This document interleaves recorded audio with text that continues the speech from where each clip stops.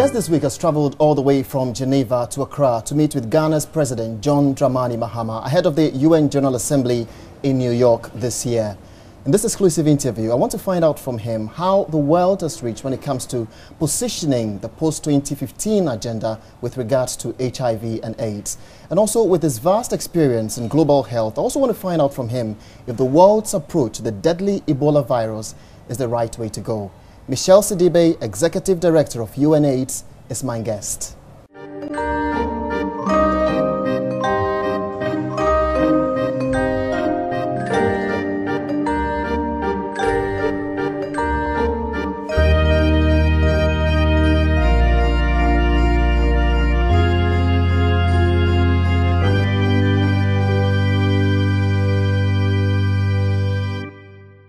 Mr. Michel Sidibe, welcome to my program. Thank you very much, um, Jefferson. I clearly remember your first words in office when you were appointed as the UN AIDS boss back in January of 2009, and you specifically stated that you want to see HIV and AIDS eliminated totally from all over the world.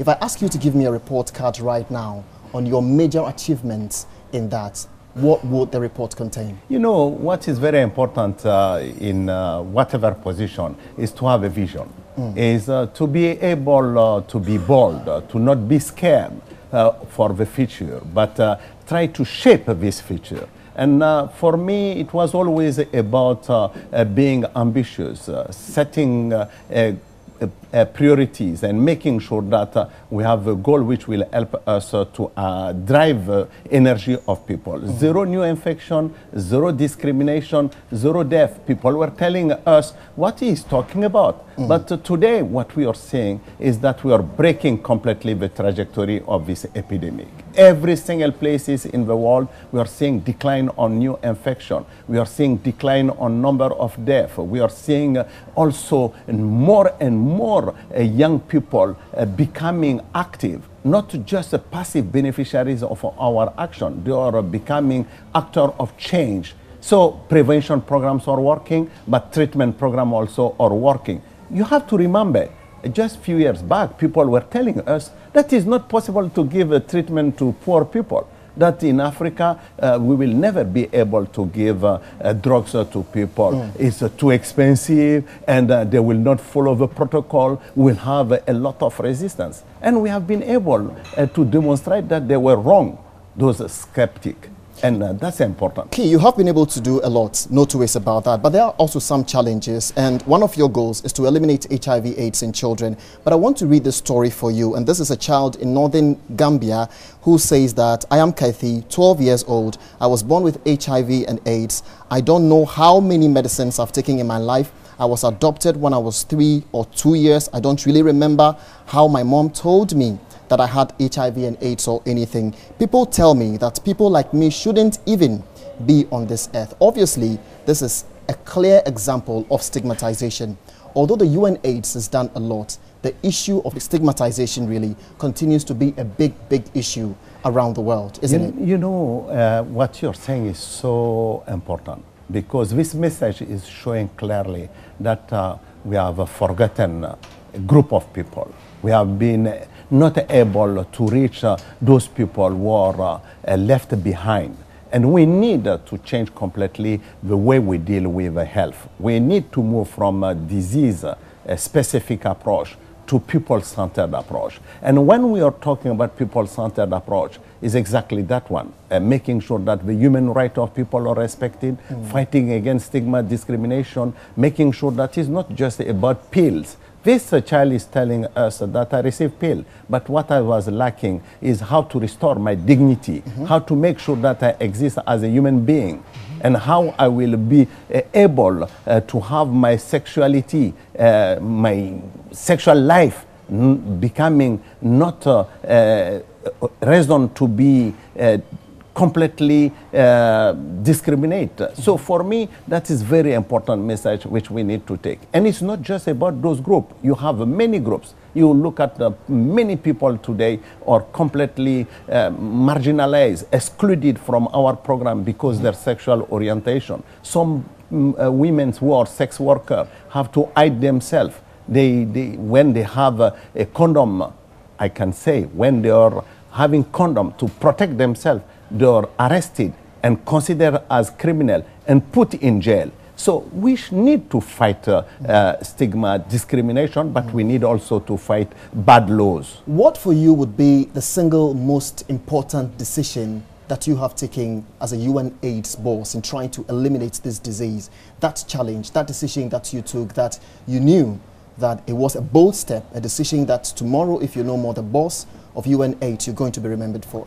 I think for me, it's to say to the people that we can really have a, a generation free of HIV that this child should have not been born with HIV, that uh, we could really come together by 2015 by saying to the world that we have been able to stop the transmission from mother to child, mm. but we also manage uh, to keep alive uh, those mothers. And uh, for me, that will be the best success story. I want to be remembered by saying that I put a vision, but also I gave the milestone to the world to achieve those visions. 2015, let us have 15 million people on treatment. Uh, 2020, let us achieve 90, 90, 90. 2030, let us say that uh, we end AIDS. And ending AIDS doesn't mean that we'll not have a case of HIV or we'll not have any more AIDS cases, but we will not have uh, AIDS as a, a public health threat. And that is important for me. It's quite amazing because I've been following on social media and yes. it's amazing the kind of things that you tweet. You are very active on social media and the United, uh, the UN AIDS as well is using the platform to conscientize people. You recently tweeted and I think somebody retweeted as well that young people will lead the way in solving today's problems. How so? Yeah, because for me, let us be realistic. Uh, uh, in the globalized world, uh, when uh, we know exactly that uh, the world is uh, highly uh, interconnected, mm -hmm. you cannot be any more non-transparent. You cannot uh, think that 70% or 60% of your people were young people will be just a passive beneficiaries of your program. They need to be actor and they will be because uh, they are connected virtually, they are uh, talking to, the, and we are seeing a, new citizenship uh, emerging, a, a, new uh, citizen, world citizen. Those young people are uh, just uh, telling us that we need to not be scared of our future, we need to shape it. And that is what they are telling in when they are in the street, when they want to participate in the politics, when they want to tell us that they don't accept to not have a job, when they are pushing people to reform completely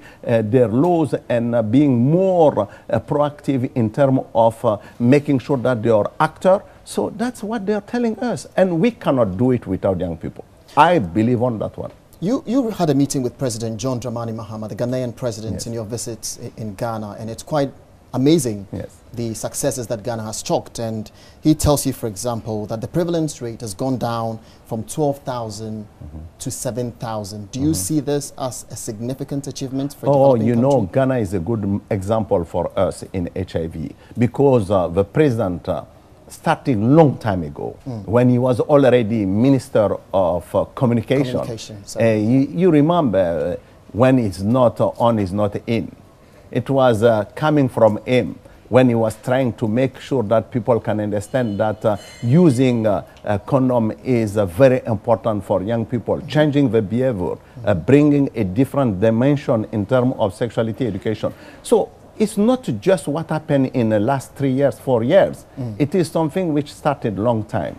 Uh, bringing different uh, constituencies. Uh, I'm talking about religious group and civil society together and uh, make sure that we have a platform which will really help us uh, to uh, break the trajectory. And that's why today we can soon probably say to uh, the world that Ghana will eliminate the transmission from mother to child, that we'll have a generation free. It's possible. They were having 30%. Now they have less than 7%. And what we are uh, hoping is to have uh, less than 2 3%. Do you not see some of these praises coming from all over, from governments, from civil society, some of them sounding sort of um, a cliche, really, um, in praising the UNAIDS or in praising the various institutions that work on that. But when you go on the ground and you talk to the people, some of them will tell you that yes, a lot of education is going on I think over the few years I've been speaking to the mm -hmm. country director of, yes. of UNAIDS in yes. Ghana, Mr. Haile Girmay, yes. and one of the key things that we keep talking about is how to sustain the 2015, post 2015 agenda. Yeah. Big question what happens to the campaign against HIV and AIDS after 2015, especially after the MDG? I think uh, the world realized that uh, uh, AIDS was not just about a disease. AIDS was an opportunity for social transformation.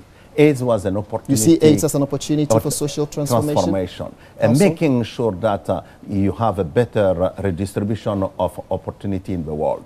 Uh, we managed to reduce the price of a medicine from uh, $15,000 per person per year to $80. We challenge uh, the trade rules by uh, for the first time to bring TRIPS and make sure that countries can start producing generics. We have been able uh, to break the conspiracy of silence around uh, this uh, deadly disease and make sure that we transform completely uh, the dynamic of uh, providing services. You go to Rwanda today, you go to uh, Ethiopia, you will see that they use AIDS money to just have community health workers. 35,000 people have been trained in Ethiopia to just be able uh, to uh, give services to people, not just AIDS. Mm. So that's why I think it's very important mm. uh, when we talk about uh, Ebola, when we talk about all those diseases, to not uh, forget what happened. We lost a lot of time with HIV AIDS.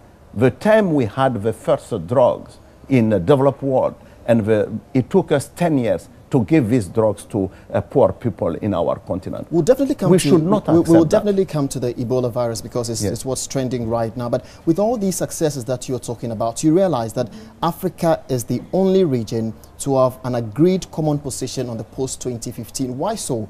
Why are the other continents not getting committed like Africa is doing? I think it's coming because if you look at the last uh, uh, report in the General Assembly, they came together. They managed to agree that uh, ending AIDS by 2030 mm. is key we should uh, keep that because, uh, like I said, AIDS has been a driving force. Talking about violence against women, talking about minorities, like I was mentioning, we would have never been able to bring this debate uh, like we have been able to bring it today without HIV/AIDS. So they know that uh, uh, ending AIDS is about uh, producing medicine, mm. bringing the debate of public goods. So I think that is fantastic. But that happened also because Africa has been able to show that they can produce results. That they are not also just uh, uh, in the begging mode. And that is very important. It's a big shift AIDS brought. Just a few years back, we were having 90% of resources were coming from Africa country like South Africa today is putting $2 billion every year to fight uh, this epidemic in their country, which was uh, inexistent few years back. And uh, Africa increased by 150% their contribution. Mm -hmm. Domestic resources is uh, bigger than uh, total donors uh, funding today on HIV mm -hmm. AIDS. That is the first time in the history of any disease we have been seeing that. Mr. Michel Sidibe, Executive Director of UNAIDS, I'll definitely come back to you and for us to talk about the deadly Ebola virus as an experienced person when it comes to global health. Do you think that the world's approach to this particular disease is the right way to go? And that's going to be after this break.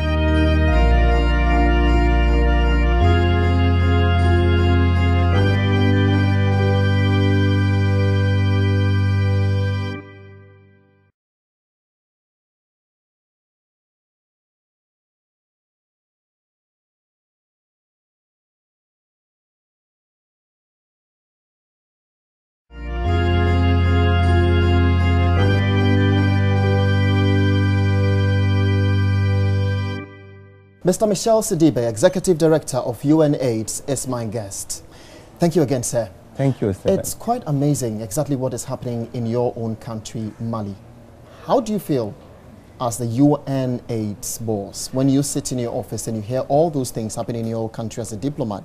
We'll definitely come to the HIV aspect of it because it's, it's one of Africa's success story. But with all these things happening, what runs into your mind in your office in Geneva? You know, let me just tell you, uh, Mali is uh, certainly uh, a big country, a big nation, It is uh, a country with uh, very old history.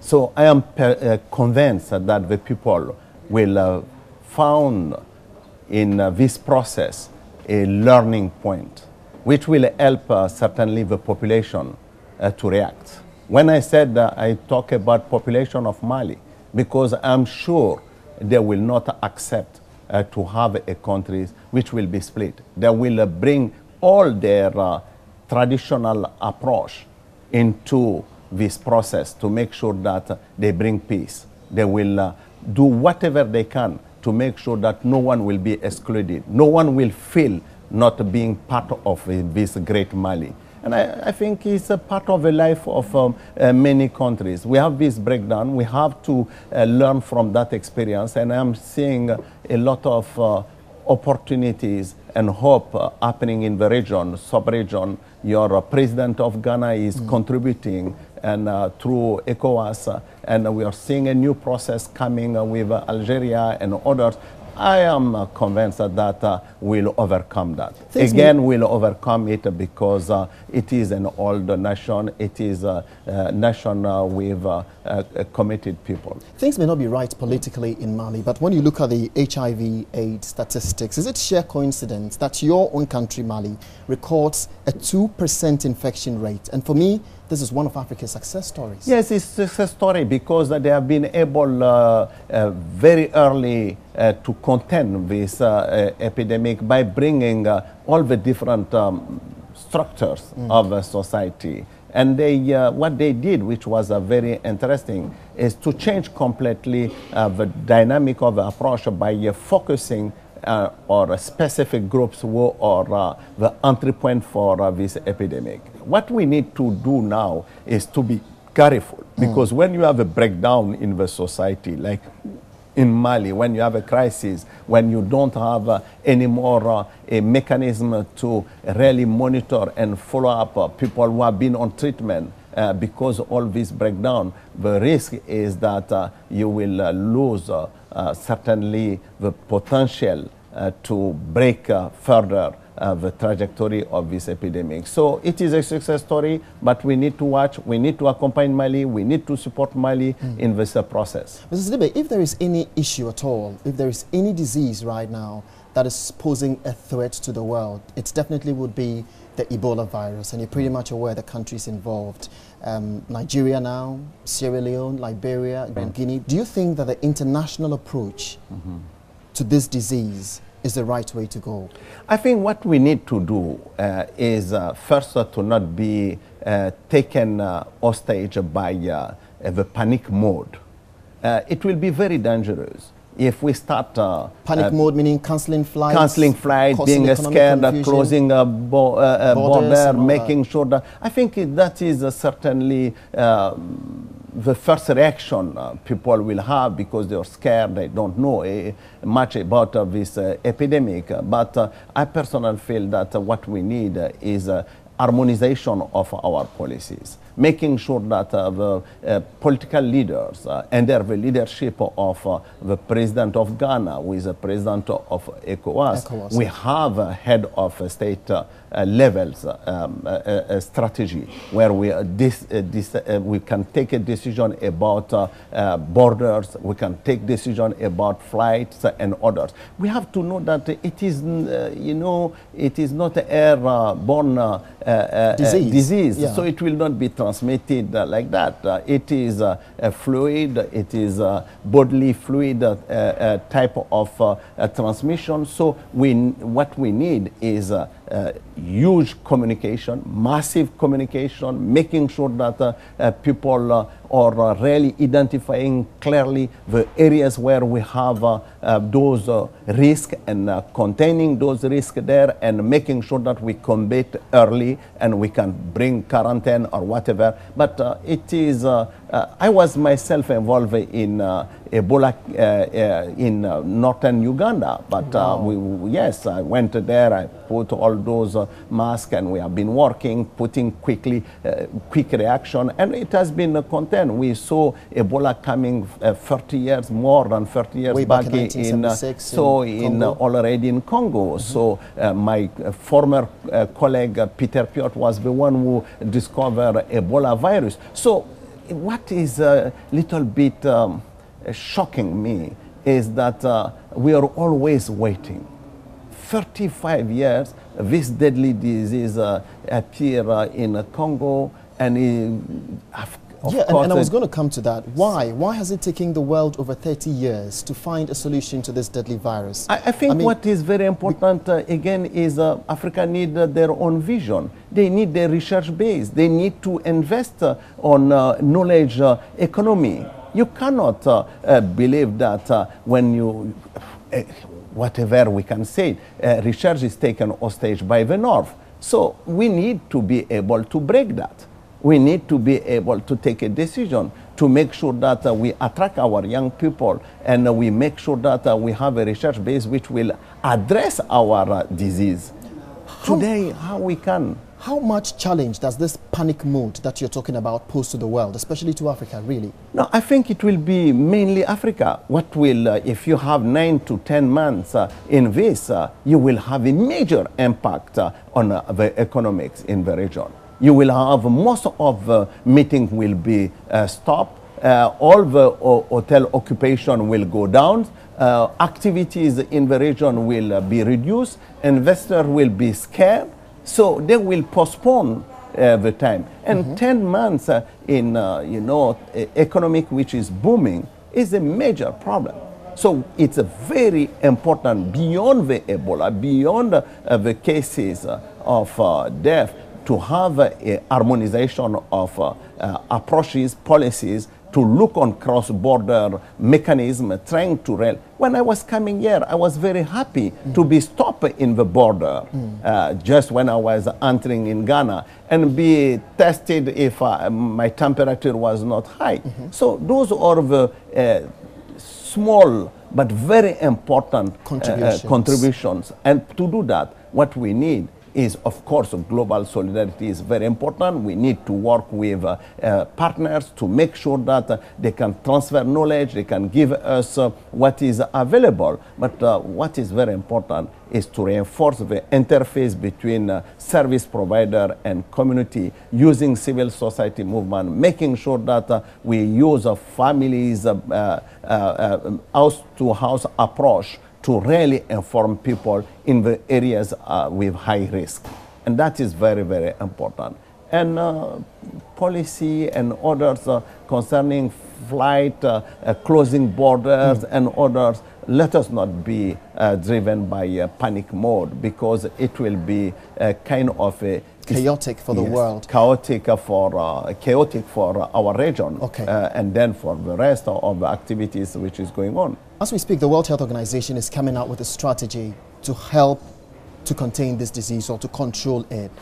What would be your single most important contribution to the World Health, especially because African leaders are also expected to meet on this particular disease in trying to resolve this particular issue? You've led um, the, uh, UN AIDS for quite some time now, and I know you clearly remember when AIDS was first tested clinically in the United States, the kind of panic and scare yes. that's you know it actually sparked. What would be your advice to the World Health Organization in that? You know, I think for me, WHO is um, uh, one of uh, uh, best uh, uh, normative organization in the world. So uh, they will put all the norms which are needed uh, to make sure that if we follow, we can uh, be able to contain and uh, even combat Ebola. But uh, beyond that one, what is uh, important is social mobilization, is how we bring a community together, how we make sure that uh, uh, this interface uh, uh, with uh, people will be better managed, and how we uh, address cross-border uh, movement and uh, without uh, uh, the panic mode. I don't believe that uh, eh, it is the way to go. You, you managed to watch um, a movie yesterday by Shirley Frimpong Mansfield. I'm talking Yes. about love or something like that. Yes. And for me, I mean, it's one of the most unique films available right now. And I find it very surprising that this is the first officially endorsed by the United Nations Yes. AIDS Commission, making the film first in Africa to be endorsed by Yeah. the UN. Yes. Why has it taken so long for such a thing to be endorsed? Sometimes we are, we are uh, even uh, surprised why we don't uh, uh, put enough uh, energy uh, to look for those talented people. The, this movie was just uh, one of the best I saw. Uh, honestly, uh, not just talking about AIDS, but talking about uh, a relationship uh, between men and women. Uh, you know, a relationship between couples and society. Uh, the genders, uh, uh, you know, relation, uh, power relation in the society, stigma, discrimination, access to medicine or not. So I personally feel that uh, uh, it's taking long because uh, we don't pay attention. We, we are uh, running uh, for uh, certainly looking for what is the most important today, but not thinking about the vision which should be behind to make the world better. And that uh, is uh, the reason, because we could have uh, do that long time ago and it would have have a major impact on the people. I will support this uh, movie. I will endorse it. I will encourage uh, the world to be able to see this movie because it's very uh, interesting movie. It's quite amazing the kind of discussion that you're going to have at the UN General Assembly in September. By the end of this year, close to next year, 2015, you are wrapping up things. One of the main reasons why you met Ghanaian President John Dramani Mahama. What would be the most single most important thing that you'll be looking out for in September? Should world leaders meet at that General Assembly, what would you be telling them wrapping up the MDG? You know what I will say, please uh, uh, make sure that uh, whatever you do inspire people. Uh, so let us be able uh, to make people uh, capable to measure what they treasure. Uh, so if you, you are not giving them a clear goals, goals they can uh, relate to, which can help them uh, to see that uh, uh, the ultimate goal, which is to save life, is a part of uh, their agenda, they will not uh, be certainly with you. So let us not miss that point. Our objective in this business is to save life of people. If that is not achieved, so we are failing. And for me, I will uh, ask them, uh, and that's why the president will be a very important uh, voice for us, is to show that uh, if we achieve uh, 90% uh, uh, of the people who don't know their status today, 19 million people out of the 35 million who are infected don't know their status. If we manage to reach 90% of those people and uh, to make sure that they can be knowledgeable about their HIV status, and if uh, we put 90% of those people on treatment, and we manage to uh, make sure that 90% of them who are on treatment will not have any uh, uh, uh, capacity to find the virus activities in their blood, will be able to control this epidemic. Mr. Michel Sidibe, Executive Director, UNAIDS, thanks for your time. Thank you very much.